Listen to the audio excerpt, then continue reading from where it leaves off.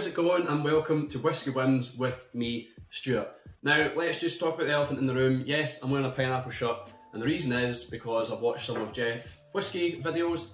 Uh, he's another YouTube whiskey reviewer and I'm really enjoying his videos at the moment so I decided to steal some of his um, tactics to try and grab some views. So I've got a pineapple shirt and I'm also going to give this bottle a nice slap because it's something he does for some weird reason. Um, and he calls himself a slapper, so that's pretty cool. So here goes with a slap, and this is for Jeff Whisky, uh, if you're watching anyway. Jesus. it is fun. Jesus. it is fun. Uh, so today we've got Caol Ila, 11 year old by the Single Cask. Uh, I think they're limited or Single Cask Company, uh, something like that. Doesn't come with a box, comes in this uh, square bottle that some people don't like. Uh, think it's rather disgusting, some, some people I've spoken to. I actually like the bottle and it's something that intrigued me to it. Uh, I, I think it's quite minimalistic to be fair, except that the kind of big, bold, egotistical badge on the front. Uh, but other than that, I, I, quite like the bottle. It looks quite luxurious, uh, like a perfume bottle, and it looks nice on the shelf, to be perfectly honest. Uh, do you pay a premium for it?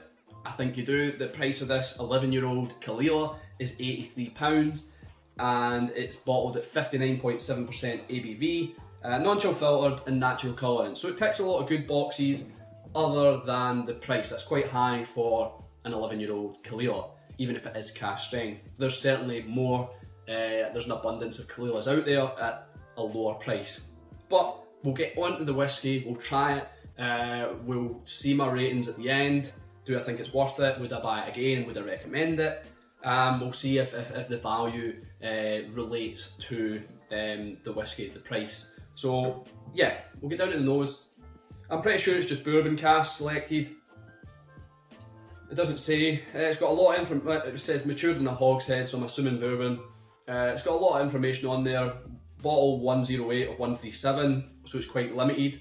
Uh, distilled 14th of October 2008 and bottled 9th of March 2020. So the nose, there's a peat, there's pine needles or pine tree, there's a little bit of ginger, uh, definitely some ginger in there. It's a little damp, a sea breeze uh, coming in, sea salt, uh, the, the, the wisp of the, or the, the wet mist coming in from the sea, spraying on you. Uh, imagine being at a beach with the sand. Yeah, it's quite picturesque. Uh, it does transport you a little. Nice, um, emotive smells. There's a little bit of a, a kind of wet leaf, wet green leaves, uh, maybe some apples there as well, some fresh apples, quite a fresh and green whiskey, uh, if that makes sense. And I'm pretty sure the last whiskey I reviewed uh, from them, which was a Linkwood, was quite similar, quite fresh, quite green. Uh, so it seems to be quite consistent with their profile almost, which is interesting that they're getting that across in different from different distilleries. And there's a, a nice smell that we most people love. I know I really enjoy it, and it's the the uh, the rain, water on a on our tarmac. Sorry, I'm burping. water or rain on uh, the, the path after it's been quite warm. Uh, you get that smell. I, I know some people know the word, but I'm not one who's that articulate to know these types of words. So it's the water on, on, on your on your ground, right? it's the rain on the ground after a warm day. Maybe some fruit there, uh, but nothing nothing quite decisive yet on the nose. Uh, it is a little, like I said, with the freshness, the green, it is a little almost uh, young in, in, in nature from the nose. The 59.7% ABV, I'm just gonna let the dog out for a pee. Just realised what I said rhymed, uh, but no, he doesn't even want out for a pee, he just wants to sunbathe, it's quite a nice day. Uh, the 59.7% ABV, a little evident in the nose, a little prickly, but yeah, nothing nothing that will throw me off. So uh, the palate, hmm. more um, freshness, more greenness, but there's uh, mango, there's oranges, there's like I said, those those fresh green apples from the nose. These are now more of a, a stewed, a baked uh, apples in a, a nice pie, baked apple pie. A little spiciness, white pepper in the palate, um, goddamn flies, white pepper in the palate, some ginger again, which I believe was in the nose, and we're also getting this uh, umami flavour, uh, quite, I think, quite uh, in line or aligned with Caol Ila distillery.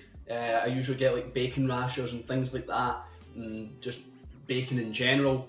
But this umami flavour is umami mixed with uh, some sort of spices, and the only thing I can relate it to and try and paint a picture for you, uh, a Bob Ross moment, is oxo cubes or beef stock cubes.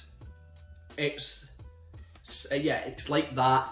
It's if you were just to yeah crumble a bit of it, just a small amount of it.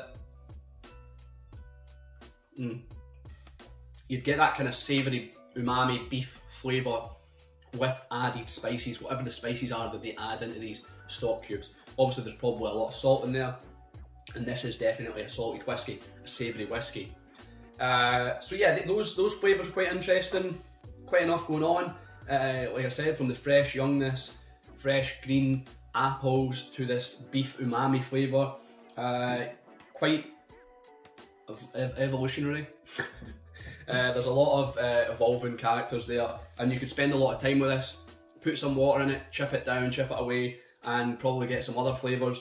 But these seem to be quite dominant in the, the style of Caol Ila uh, in general. So we'll get down to the finish. The finish is definitely long, uh, long in length for sure. There's a, a sea salted dark chocolate. This bitterness, uh, I'm just watching the dog, he came in from outside and ran upstairs. He's having a right old good time. Uh, this sea salted dark chocolate, the dark chocolate's really evident in the finish and it's nice, it's a nice flavour, um, quite bitter. There's, there's something uh, fishy, something fishy going on here. There's a little bit of fish in the finish, smoked fish. I want to say, I don't think it's smoked salmon, it's more like a smoked uh, fish or shellfish in brine. Uh, let's think of like maybe mussels, like a smoked briny mussels in the finish. Uh, those those ones that you get in the jar. Uh, it isn't just brined mussels; it's, it's significantly smoked. Uh, just getting that out there, it's smoked for sure, right? I don't know how many times I need to say it's smoked. I don't know why I'm still going on about it. It's smoked mussels in a briny, um, yeah, whatever, oil. A little bit of a sweet toffee or, or caramel flavour coming through, but the, the things I want to focus on here in the finish are the, the, the bitter chocolate, the dark chocolate, and those those mussels, those smoked briny mussels. So we'll get down to the review of the whiskey, my rating and how I rate it. Uh, do I think it's worth it at £83? No, it's not worth £83. Uh, £60 possibly, yeah, £60 seems like a good price range, 50 to 60 for an 11 year old Caol Ila cask strength. I know there's plenty of uh, whiskies out there, Caol Ila whiskies for sure, that are cheaper and just as good. This is a good whiskey, do not get me wrong, it's just overpriced, uh, which is a little bit of a shame and possibly down to the bottle being a premium. Uh, would I recommend it? I, I usually always recommend whiskies, there's only some exceptions, uh, some terrible whiskies that I, I, I wouldn't recommend. And I would recommend this, it's nice, like I said, I'm really enjoying those flavours especially the, uh, dare I say it again, the mussels. Uh, but yeah, I, uh, I, think I would recommend this. And would I buy another bottle? Nah, I've had it now. There's other Caol to explore. I don't think myself as the biggest fan of Caol Ila, but I'm starting to get into it slower and slower and uh, slower and slower. No, I'm starting to get into it a little bit gra gradually, or gra I'm trying to think of the word. Gradually isn't a word. Um, I'm gradually getting into Caol Ila. That's the word. So, yeah, it's a good whiskey. I'm enjoying it. I've enjoyed it uh, just halfway down. For the first half, I didn't really enjoy it, but I'm starting to enjoy it now. So, yeah, I, I commend the, the whiskey uh, itself, but not the price of the whiskey. And yeah, I bought this whiskey, and maybe it was a little bit naive of me to buy an 11 year old at 83 pound, and maybe I'm part of the problem. But I hope this helps other people decide, uh, and hopefully I'm more like a, a test dummy um, in a sense. Uh, I know I'm a dummy anyway, but uh, hopefully I'm a little bit of a tester, that, that guinea pig for you. So you can decide whether you want to buy it, whether those flavours that I've kind of described are worth it. Uh, like I said, I don't think they are, but it's still a good whiskey. Uh, so I think that's all I've got to say. Thanks for watching. I've been Stuart, this has been Whisky Whims. I'll see you later.